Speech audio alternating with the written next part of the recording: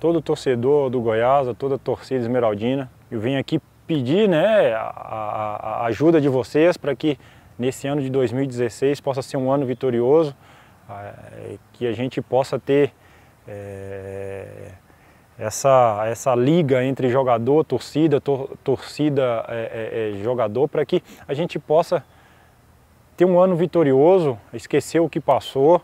É, eu sei da força né, dessa, desse, dessa equipe, vinha jogar aqui, tinha muito receio.